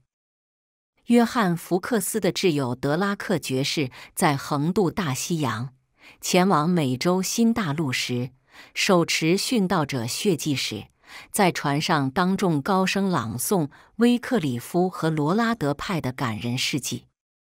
从此，威克里夫的献身精神和舍己为人的高贵品格，鼓励了大西洋彼岸成千上万的基督徒。一五一八年。一位罗拉德派的宣教士曼恩，在火刑之前，亲口向审判官做见证说，在他一生之中，他一共带领了七百人归向基督。一五二一年，伦敦的主教逮捕了五百个罗拉德派，而林肯的主教又逮捕了二百个罗拉德派。直至十六世纪初叶，罗拉德派并未因受逮捕而减少。实际上已经蔓延到整个英国。一五二三年，当马丁·路德的追随者把改革运动介绍到英国时，罗马教的伦敦主教说：“这些来自德国的反对罗马教的改革论调，在英国并不新鲜，他们不过时已经猖獗的罗拉德派变本加厉而已。”当约翰·伯斐修订威克里夫的圣经译本之后，一位苏格兰弟兄莫杜尼斯伯随着把白斐的版本译为苏格兰的方言。莫杜尼斯伯于1513年逃往海外，1539年，他的两位同工都在苏格兰的格拉斯哥受到火刑。最近，在英国丢克斯伯里浸信会教堂所发掘出的珍贵史料显示，该浸信会教堂追溯其源头，直达罗拉德派时期。在该浸信会教堂镌刻着下列的文字：在这一地区，威克里夫具有不可估量的影响力，许多罗拉德派的信徒居住在这一带，他们效法使徒时代信徒的榜样。实行敬礼。丢克斯伯里浸信会教堂继承了罗拉德派的聚会。至于1540年出生于本地的多马兰士福特，则是此地第一位浸信会信徒。1623年，教堂的地契仍然完好的保存着。一六五五年之后的会议记录，以及当初一百二十位信徒的名册，仍然所存在本教堂的保险箱里。根据深入英国各地考察的最新成果，证实罗拉德派当年活跃的地区，浸信会教堂随后如雨后春笋般浮现出来。在十九世纪。越来越多的信徒对威克里夫在历史上的贡献做出了崇高的评价。许多威克里夫从未被翻译过的拉丁文原著纷纷被翻译出来。他的一些书籍在尘封了六百多年之后，吐射了新的亮光，更新和苏醒了世界各地的信徒。